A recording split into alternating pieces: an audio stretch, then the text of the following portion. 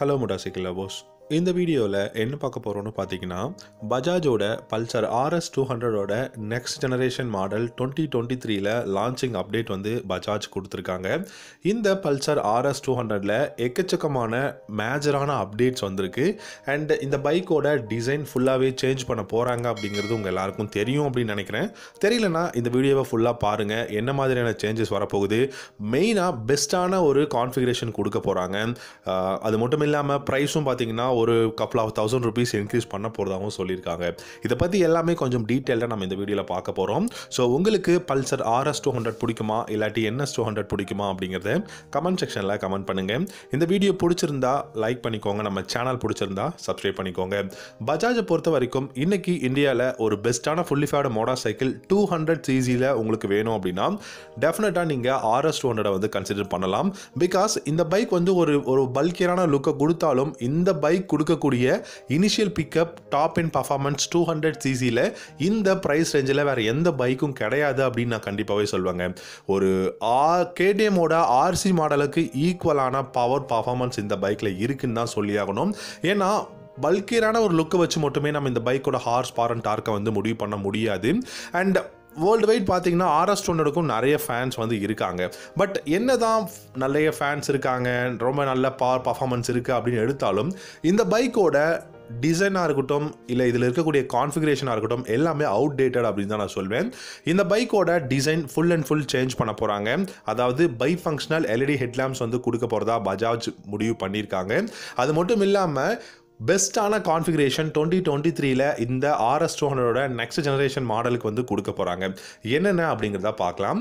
இந்த RS two hundred twenty twenty three model next generation மாடலை பொறுத்த வரைக்கும் ஃபர்ஸ்ட் மேஜர் அப்டேட்டாக பை ஃபங்க்ஷனல் எல்இடி ஹெட்லாம்ப்ஸ் வந்து கொடுக்க போகிறாங்க இது வந்து நமக்கு வந்து பை ஃபங்க்ஷன் ரெடி ஹெட்லாம் மட்டும் கிடையாது.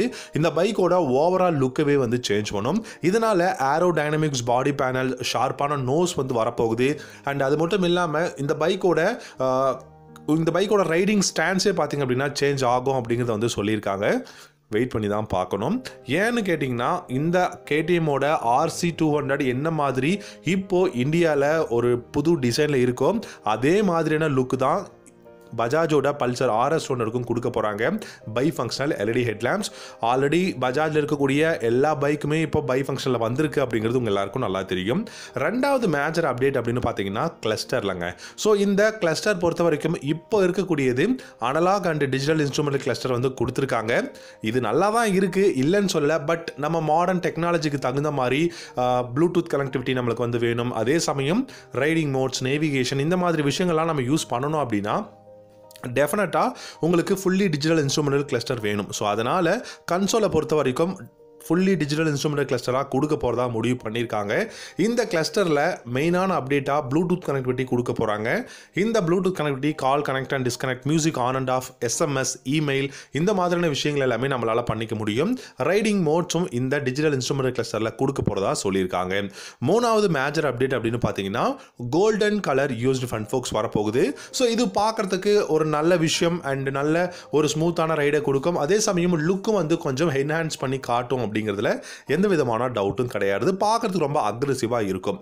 அடுத்ததாக பார்த்தீங்க அப்படின்னா இந்த பைக்கோட ரியர் செக்ஷனும் பார்த்தீங்கன்னா சேஞ்ச் பண்ண போகிறாங்க அதாவது டெய்ல் செக்ஷனும் சேஞ்ச் பண்ண போகிறாங்க ஏன்னா ஓவராலாக ஆர்எஸ் டூ ஹண்ட்ரடோட லுக்கே வந்து மாறப்போகுது போகுது அப்படிங்கிறது தான். பட் இப்போது நிறைய பேருக்கு டியூவல் ப்ரொஜெக்ட் எல்இடி ஹெட்லாம்ப்ஸ் இருக்கக்கூடிய ஆர்எஸ் டூ ஹண்ட்ரட் நிறைய பேருக்கு பிடிக்கலாம். மேபி பை ஃபங்க்ஷனில் வந்ததுக்கப்புறம் அந்த பைக்கும் பிடிக்கலாம். ஏன்னா கேடிஎம்மோட ஆர்சி மாடலும் அப்படி தான் பை ஃபங்க்ஷனில் கொடுக்கும்போது நிறைய பேருக்கு பிடிக்கல. பட் இப்போது நிறைய பேருக்கு இந்த டிசைன் பிடிச்சிருக்கு அப்படிங்கிற மாதிரி சொல்லிட்டு இருக்காங்க ஸோ அதனால தான் சொல்கிறேன் ஆர்சி டூ ஹண்ட்ரட் எப்படி இப்போ பிடிக்குதோ அந்த மாதிரி பஜாஜோட பல்சர் ஆர்எஸ் ஹண்ட்ரடும் வந்து பார்த்தீங்கன்னா கொஞ்ச நாளில் எல்லாருக்குமே பிடிக்க ஆரம்பிச்சிருங்க. அடுத்ததாக மேஜரான அப்டேட் என்ன அப்படின்னு பார்த்தீங்கன்னா இந்த பைக்கில் வந்து உங்களுக்கு ஹார்ஸ் பவர் அண்ட் டார்க் வந்து இன்க்ரீஸ் பண்ண போகிறாங்க இப்போதைக்கு பார்த்தீங்கன்னா twenty four point five horse பவரும் eighteen point seven newton of டார்க்கும் இருக்குது இந்த இடத்துல டுவெண்ட்டி சிக்ஸ் ஹார்ஸ் பவரும் உங்களுக்கு nineteen point two newton of டார்க்கும் வந்து ப்ரொடியூஸ் பண்ணக்கூடிய இன்ஜின் கொடுக்க போகிறாங்க அப்படின்ற மாதிரி சொல்லியிருக்காங்க.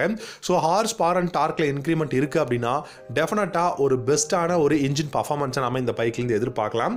அது மட்டும் இல்லாமல் நமக்கு இந்த பைக்கில் உங்களுக்கு அசிஸ்டன்ட் ஸ்லிப்பர் கிளச் வந்து வரப்போகுது. Maybe traction control Bajaj Pulsar RS டோனரில் வரத்துக்கும் சான்சஸ் இருக்குது அப்படிங்கிற மாதிரி தான் நிறைய பேர் வந்து சொல்லிட்டு இருக்காங்க. அண்ட் அது மட்டும் இல்லாமல் இந்த பைக்கோட அந்த ஒரு லுக் சேஞ்ச் ஆகிறதுனால பார்க்கறதுக்கு ரொம்ப ஷார்ப்பாகவும் ஸ்லீக்காகவும் இருக்கும். ரொம்பவே வந்து பார்த்திங்கன்னா உங்களுக்கு டாப் இன் பர்ஃபார்மன்ஸ் பெஸ்ட்டாக இருக்கிறதுக்கான பாசிபிலிட்டிஸ் இருக்குது அப்படிங்கிறதா சொல்கிறாங்க பட் இன்னொரு விஷயம் என்னென்னா இதோட டைமென்ஷன்ஸ் பார்த்தீங்கன்னா ரொம்பவே சேஞ்ச் ஆகும். இந்த பைக்கோட சீட் ஹைட் கிட்டத்தட்ட ஆர் ஒன் ஃபைவோட சீட் ஹைட் மாதிரி இருக்கும். ஏன்னா இப்போ இருக்கக்கூடிய பைக்கோட சீட் ஹைட் பார்த்தீங்கன்னா eight hundred and ten mm இருக்குது இதுக்கப்புறம் டுவெண்ட்டி டுவெண்ட்டி த்ரீ மாடலில் பார்த்தீங்கன்னா eight hundred and fifty mm சீட்டேடு பின்னாடி பார்த்தீங்கன்னா ரொம்பவே தூக்கிட்டு இருக்கிற மாதிரி இருக்கும். அண்ட் uh, இந்த பைக்கில் வந்து செவன்டீன் இன்ச் அலாவில் டியூப்லெஸ் ரேடியல் டயர் வந்து கொடுத்துருக்காங்க. கண்டிப்பாக இந்த இடத்துல ஒரு மிகப்பெரிய சேஞ்சஸ் இருக்கலாம். ஏன்னா டயர்ஸ் வேறு பிராண்டில் வந்து போடுற மாதிரி தான் பஜாஜ் இப்போது நிறைய um, ப்ரெஸ் மீட்லாம் சொல்லிட்டு இருக்காங்க. அண்ட் uh, இந்த பைக்கில் பொறுத்த வரைக்கும் நல்ல பார் அண்ட் பர்ஃபார்மன்ஸ் இருக்கக்கூடிய இன்ஜின் இருக்குது பில்டு குவாலிட்டி நல்லா இருக்குது ரைடிங் எக்கனாமிக்ஸ் நல்லா இருக்குது அண்ட் ஹேண்டில் பாரும் பார்த்தீங்கன்னா கிளிப் ஆன் ஹேண்டில் பார்ஸ் ரொம்பவே ஷார்ட்டாக இருக்கிறதுனால நல்ல பெஸ்ட்டான கம்ஃபர்டபுளான ரைடிங் வந்து நமக்கு கிடைக்கும். ஸோ இது எல்லாமே கொடுக்கும்போது ப்ரைஸ் எவ்வளவா இருக்கும்? இப்போதைக்கு பார்த்தீங்கன்னா one lakh seventy two thousand something ex showroom price இருக்குது கிட்டத்தட்ட ரெண்டு லட்சத்தி ஐயாயிரம் ரூபா வரைக்கும் இந்த பைக்கோட ஆன் ரோட் ப்ரைஸ் போகுது. இதுலேருந்து ஒரு டென் தௌசண்ட் ருபீஸ் நம்ம எக்ஸ்ட்ரா பார்த்துக்கலாங்க இந்த வீடியோ பிடிச்சிருந்தா லைக் பண்ணிக்கோங்க. நம்ம சேனல் பிடிச்சிருந்தா சப்ஸ்கிரைப் பண்ணிக்கோங்க.